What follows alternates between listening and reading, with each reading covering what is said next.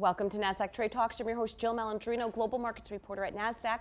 Joining me at the market site in Times Square, New York City, we have Conor O'Loughlin. He's the co founder and CEO of Glofox, and we are going to discuss how data impacts your workout and your choices of gym. Conor, it's great to have you with us. And you know, at Nasdaq we talk about data and fintech all the time, but I've never had it where it's associated to what happens at the gym. And what you're seeing is a growth market for boutique gyms. Is that a trend? Is it with the younger generation? Do you think it's a bubble or trend that's going to last?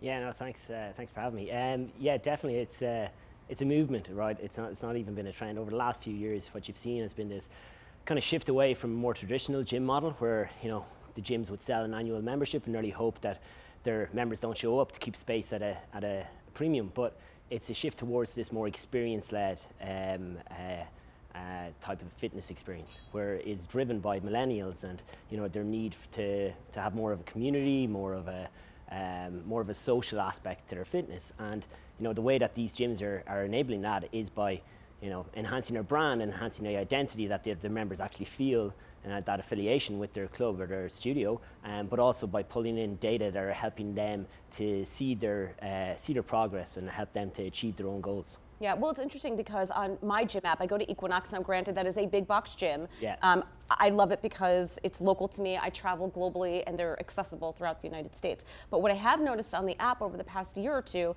they actually have community sections built in there, um, and you can go into different rooms and boards and, and join. Um, I I never expected to see something like that on a gym app before. Now, with the newer generations, they are really on the cusp of disposable income.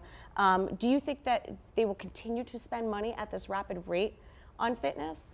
Yeah, and like even even to touch on the, the, the, change in the Equinox model is what you're seeing in the space too. Is the reaction from these more traditional gyms to how boutiques have been uh, have been taking their market share. You know, the boutiques um, they they charge a premium because they're giving a, a, more premium service and a more premium experience. And millennials and that generation they'll continue to spend on that um, because they are getting that experience um, that they crave.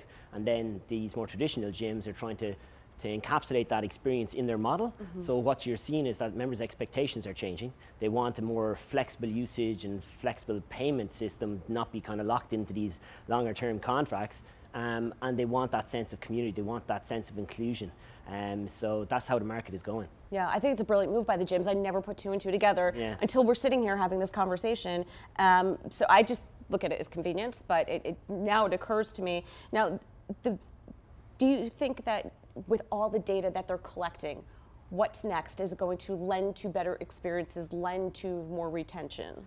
Yeah, it's it, with fitness like keeping keeping folks motivated and keeping them actually active in in your gym or studio and, and spending money and seeing the results. You need to create um, you need to create these experiences that are, are enabling them to to have challenges in front of them and see progress of those challenges where data plays a plays a big part. But then from the, the gyms and the industry as a as a whole, what they have is they have this great underlying data on the preferences of their end users and they're able to to serve up uh, better experiences more in line with their preferences. So I know if you're going to you know, spinning three times a week, you're going to like this new class that comes out and, and be able to, to really just construct the experiences in line with, with that data. I would imagine it also opens up opportunities for partnerships as well, mm. right? So if you see, um, what this, let's say someone's talking about a clothing line within a particular community that they like the most, let's use Puma as a random example, right?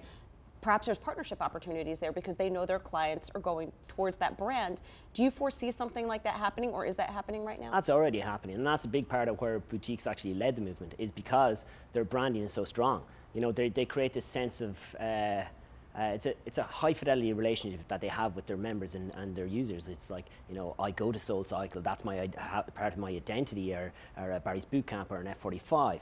And, you know, a big part of that is is the branding side and where they can they can have this apparel where they're they're out there marketing to the world um, and they're bringing their friends and they're creating that uh, that community. Um, so there's a four trillion dollar spend in the in the health and fitness and wellness um, on an annual basis, and there's massive overlays in, in how gyms and studios can kind of tap into that and, and deliver that enhanced experience, but also really cement their brand with their members. Yeah.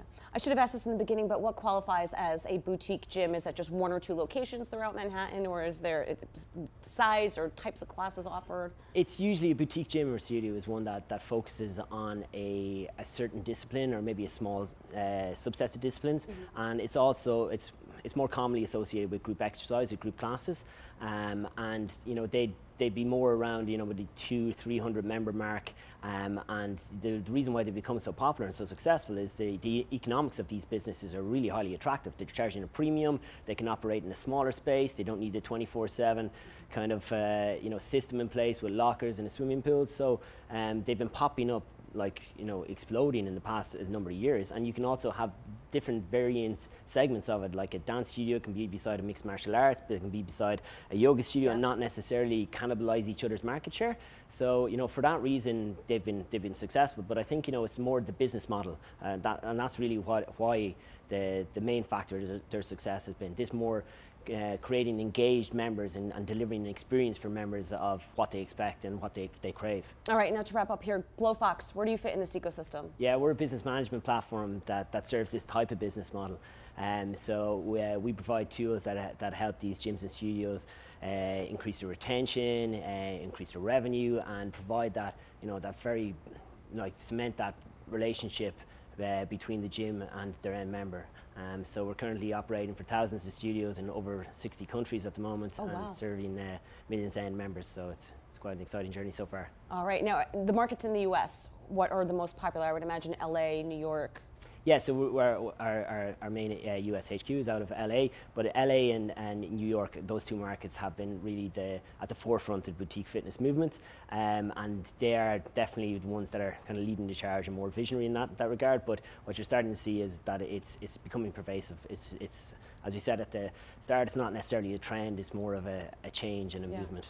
All right, Conor, thanks so much for joining us at MarketSite. Thank you. And thank you for joining me on Trade Talks. I'm Jill Malandrino, Global Markets Reporter at NASDAQ.